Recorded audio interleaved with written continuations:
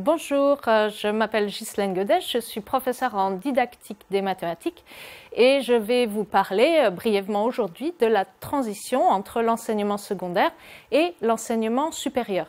J'ai sous-titré mon exposé Pourquoi de bons élèves peuvent devenir des étudiants en difficulté. Euh, parce que c'est ça qui est le point mystérieux dont je voudrais parler. Des élèves qui réussissaient relativement bien en mathématiques au lycée, après le bac, peuvent rencontrer des difficultés et c'est ce qu'on va essayer de comprendre. Alors, un point de précision, c'est qu'il peut y avoir des causes qui sont très générales.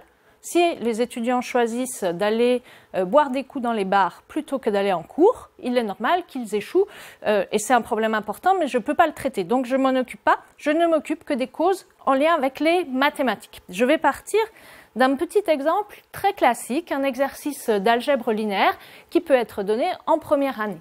On prend un espace vectoriel E, trois vecteurs dans cet espace, et on dit qu'ils sont deux à deux non collinaires on pose la question, peut-on affirmer que la famille formée par les trois vecteurs est une famille libre? Voici une réponse assez classique qu'on peut trouver euh, dans les productions d'étudiants. Supposons que la combinaison linéaire AU plus BV plus CW soit nulle.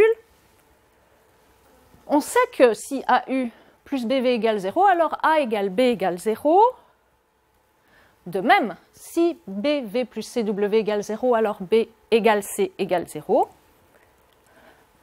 Donc on a A égale B égale C égale 0. On a bien prouvé que la famille est libre. Alors quel est euh, le travail qu'on va faire en didactique? Déjà, on peut dire, euh, ce n'est pas un étudiant qui n'a rien compris ou qui ne sait rien. Il sait engager une démarche pour essayer de prouver qu'une famille est libre.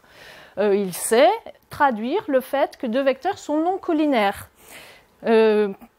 Mais tout de même, évidemment, cette production est fausse et on va chercher quelle est la cause de la difficulté rencontrée par cet élève euh, cet, étudiant. Cet étudiant a essayé de rester dans un registre très formel d'un langage mathématique avec des symboles.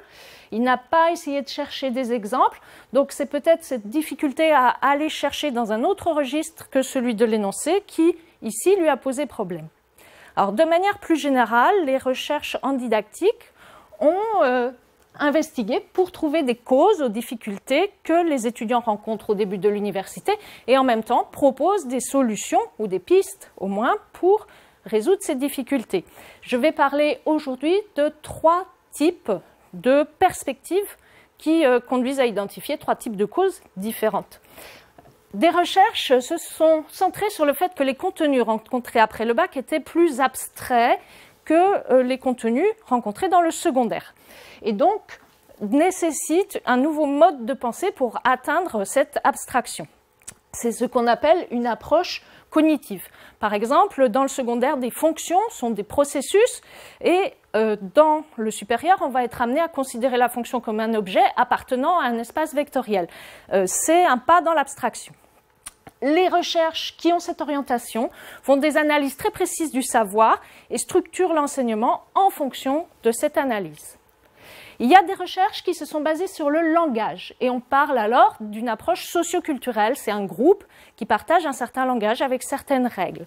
Il y a des travaux là-dessus qui ont été présentés d'ailleurs très récemment à l'IREM de Rennes et euh, vous pouvez trouver sur le site de l'IREM les vidéos des conférences correspondantes le langage utilisé après le bac, le langage mathématique, a ses symboles propres, euh, son vocabulaire particulier, et on remarque que les enseignants ne sont pas toujours absolument exemplaires dans l'utilisation de ce langage. Ils se permettent des imprécisions, euh, ce qui rend difficile l'apprentissage du langage par les étudiants.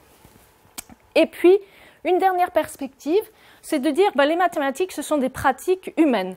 Euh, il y a des types de tâches, il y a des techniques pour accomplir ces types de tâches, des technologies qui sont des discours expliquant les techniques qui permettent d'accomplir le type de tâche.